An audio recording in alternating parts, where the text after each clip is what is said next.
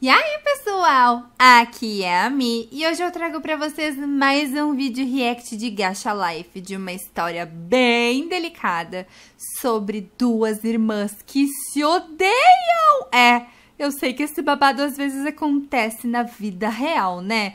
Vai, confessem aí nos comentários quem aí tem problema com os seus irmãos. Eu sempre sonhei em ter um bem pertinho de mim, nunca tive. então eu tô louca pra saber o que vai acontecer. Essa história foi criada pela Emily Borges, o canal vai estar aqui na descrição. Preparem a sua pipoca que eu vou colocar os meus fones de ouvido, mas antes já vão deixando aquele super like no vídeo, se inscrevam no canal, me sigam no Instagram e fiquem de olho em todas as novidades e acompanhem a todos os nossos vídeos. Olá, eu me chamo Yumi. Eu tenho 9 anos, ela é tão fofinha. E eu tenho uma vida normal, com uma família normal, tudo bem.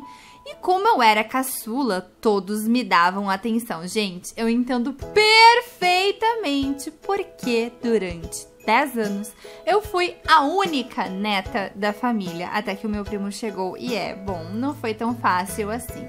Principalmente o meu irmão, que eu amo tanto. Toda a atenção era minha. Até que a Yumi estava assistindo televisão no seu quarto e o irmão dela pulou em cima dela, se jogou, precisando contar uma novidade que ouviu a mãe e o pai conversando sobre adotar uma criança. Nem brinque com essas coisas, ok? Mas eu não estou brincando. Eu ouvi mesmo e. Filhos, temos uma coisa para falar para vocês. É o seguinte: Como assim vocês estão pensando em adotar uma criança? Eu não admito nem pensar, nós já somos o suficiente para vocês! Primeiramente, não aumente o tom de voz comigo, menina. Segundamente, adorei. Segundamente, nós não estamos pensando em adotar uma criança.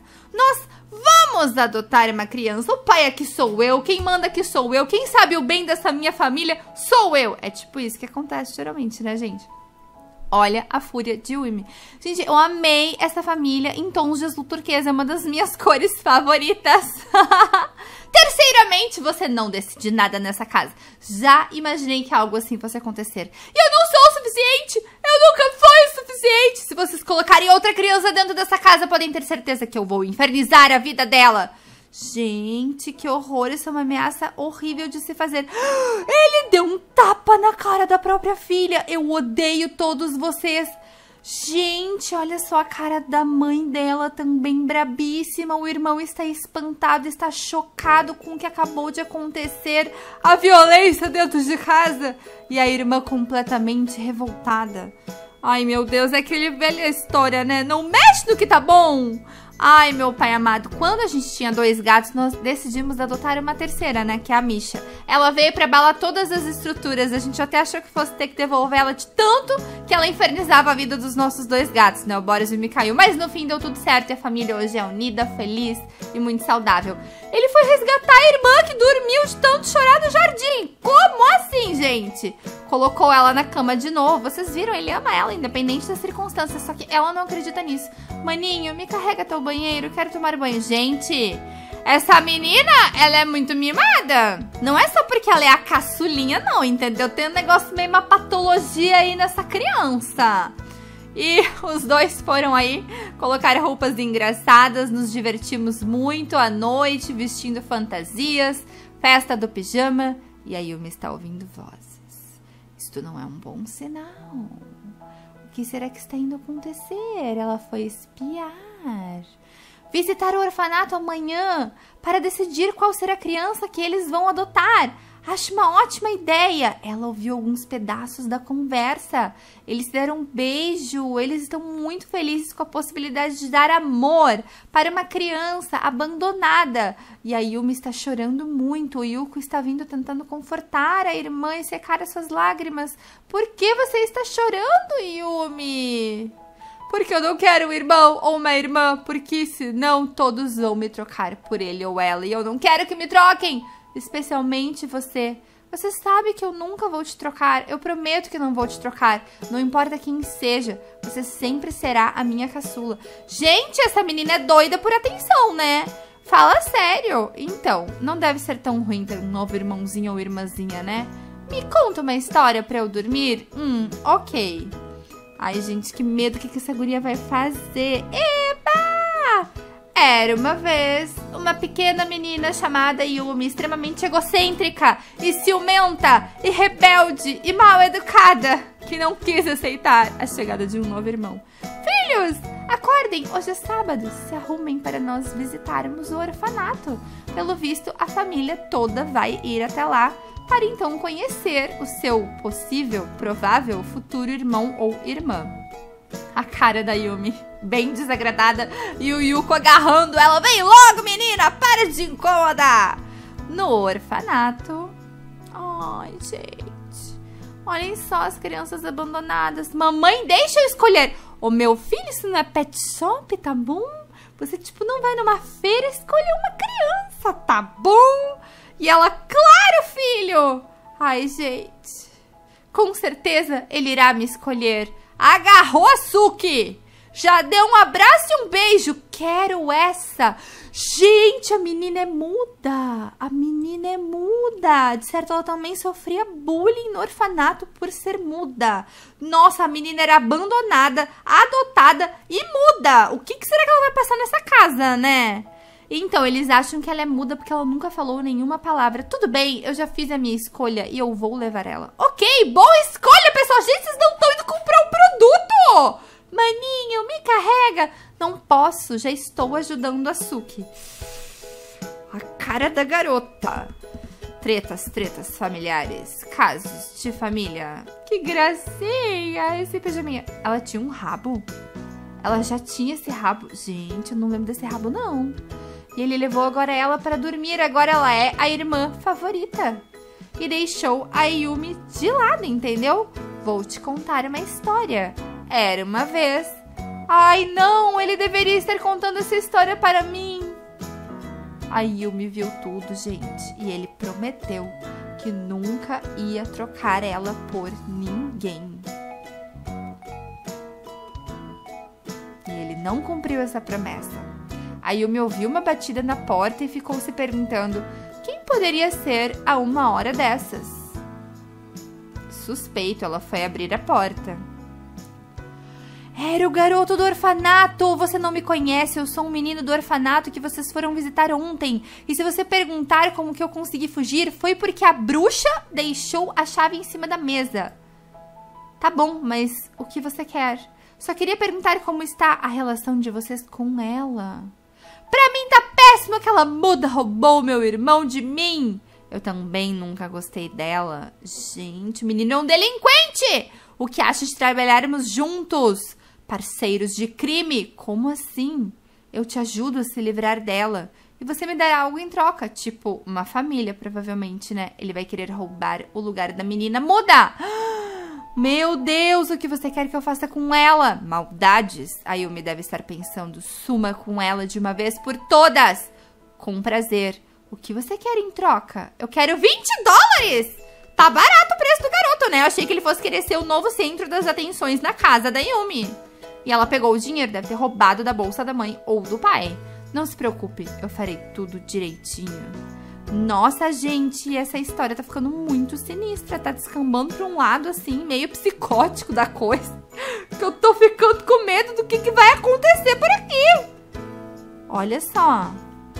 A Yumi, ela vai dormir como se nada tivesse acontecido, sem se sentir culpada por ter contratado o quê? Um criminoso de aluguel. Meu Deus! No outro dia, será que a menina deve ter sumido da casa? O que vocês acham? Digam aí nos comentários o seu palpite do que é que vai acontecer com Suki. Será que Yumi caiu em si, se arrependeu? Ela estava com uma cara estranha, gente. Acho que ela vai procurar pela irmã para descobrir o que de fato houve. Mas, peraí, a Suki está lá, tomando café da manhã, com o Yuki. E a Yumi ficou brabíssima. Não tô entendendo mais nada. Ela deve estar pensando em algum plano para confabular junto com o menino do orfanato. Ela está frustrada que ele não fez nada com Suki para levar ela embora. Filhos, vim informar que amanhã iremos para a praia. Gente, eu acho que ela vai tentar dar um jeito na menina de sumir com ela no mar. Que droga, se formos para a praia, aquele órfão não vai conseguir sumir com ela. Que raiva! Levantou abruptamente, quase derrubou a mesa. E ninguém está entendendo o porquê da fúria de Yumi. Yuki ficou tipo, ai, de novo. A Suki vai atrás dela, galera. Será que ela vai tentar fazer com que a Yumi goste dela? Pelo visto, este lugar no jardim é um lugar que habitualmente ela vai, né? Pra, tipo, tentar desopilar toda a raiva, contato com a natureza, sabe? Descarregar energia no solo. Isso aí é bom, mas pra ela não tá funcionando, não. Ela está escrevendo um bilhete para Yumi, já que ela não consegue falar. O que será que tem neste bilhete? Eu acho que a Yumi vai rasgar. Não, ela está lendo. Ela está escrito, eu fiz alguma coisa? E a Yumi disse, sim, você fez. De certo vai dizer, você nasceu. Não, você roubou meu irmão, sua muda. Eu te odeio. Eu queria que os meus pais nunca tivessem te adotado. Ai, coitadinha da Suki, gente. A culpa não é dela. Nossa! Ela falou! Pela primeira vez! É impressão minha ou você falou? Ou eu que estou ficando louca mesmo? Gente, então por que, que será que ela nunca falou? Ah, deixa pra lá. Foi impressão minha. Deve ter alguma história por trás na vida de Suki que a faz com que ela não fale. E ela quer descobrir o que é que ela fez de errado. Se adaptou muito facilmente a essa família, né? E também não transformou a Yumi no centro das atenções. Porque se provavelmente ela tivesse feito amizade direto com a Yumi, tivesse bajulado a Yumi, provavelmente nada disso teria acontecido, né? E ela está pensando em preparar as malas dela, provavelmente para a viagem. Lá veio ela com todas as sacolas já arrumada para a viagem e que cara é aquela? De espanto. Não entendi, gente. É uma cabeça cortada. Como assim? O que, que isso significa? Todos foram para a praia. Que gracinha. Acho que vão colocar os trajes de banho. O Yuki está cuidando da Suki. Realmente, acho que ela é bem pequenininha. Deve ter, tipo assim, a idade da Úrsula, provavelmente. A Yumi tentou pedir ajuda para ele, que não fez nada, entendeu? Se vira, maninha, você já é mais velha, você já pode ser independente. Acredito que a Suki deve estar fazendo aí um castelinho de areia na beira da praia.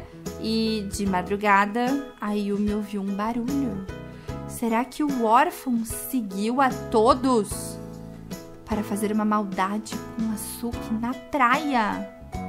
Ai meu Deus, é a Suki, gente. O que, que ela está fazendo? Ela está botando uma roupa. Será que ela vai fugir? A Yumi está espiando tudo, se perguntando onde é que ela vai a essa hora. Eu acho que ela vai ir atrás da irmã. Ué, cadê ela? Que segredo que a Suki esconde. Isso tá muito sinistro. Meu Deus, ela foi pra praia sozinha, mas desse tamanho. Gente, como é que põe aí de noite no gás? Eu quero saber, eu quero saber. Uma coisa que eu sinto falta. Essa pode ser a minha chance. Ela vai empurrar a garota na água. Pelo amor de Deus, ela deu um chute. O que, que aconteceu? As duas caíram na areia. Nossa, a Suki descobriu que a Yumi queria acabar com ela. Você ia me empurrar? Achei que você não soubesse falar. Sim, eu tentei te empurrar. Por quê? Porque você roubou tudo que era meu. Meu irmão, os meus pais, a minha felicidade. Você fez isso de propósito. Eu só queria uma família. Eu só queria ser feliz. Eu nunca consegui ser feliz ou ter uma família de verdade, pois a minha mãe me odiava. Que triste. Eu te odeio, sua pragas. Gostaria que você não tivesse nascido. Meu Deus, o que, que ela fez com a própria filha? Eu, eu não sabia. Eu sou um monstro. Me desculpa, por favor. Tá bom, eu te desculpo. Um tempo depois. Mas por que você fingiu ser muda? Uh, porque... Problema seu, calha a boca. Sua voz me irrita. Isso é mentira, sua voz é muito linda. Ela parou de falar por causa da mãe dela. Mas é melhor agora a gente voltar. E, gente, e o órfão? O que, que vai acontecer? Finalmente, Yumi será amada pela sua irmã, que foi abandonada, odiada e agora resgatada. E depois disso tudo, ocorreu tudo bem e tudo voltou ao normal. Agora todos somos uma família feliz. Minha nossa, que história bizarra, hein, gente? Mas ainda bem que a Yumi se arrependeu no final e que deu tudo certo. E que aquele órfão deu no pé com os 20 dólares e nunca apareceu. Mas se vocês tiverem gostado, deixem um emoji secreto de família nos comentários, se inscrevam no canal e deixem muito like no vídeo. Hoje eu vou ficando por aqui, um grande beijo, like e favorito sempre e tchau, tchau. Beijo, beijo, pessoal!